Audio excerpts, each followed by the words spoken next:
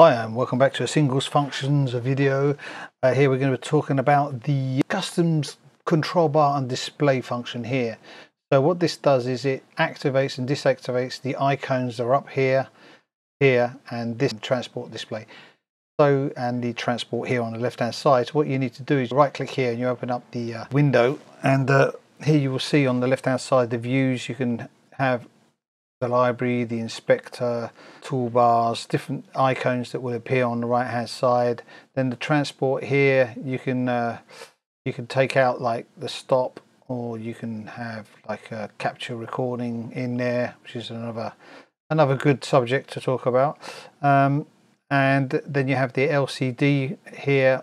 You select uh, if you want the position, when time beats, locators, different functions there. And then you have the mode functions on the right hand side here. So if you click here you'll see a list that comes up as well. The icons will not come up because there's not enough room on the display. So there you have it. That's how you uh, customize your display and uh, view here. I hope that was useful for you. If it was like subscribe hit that notification button and i will see you soon.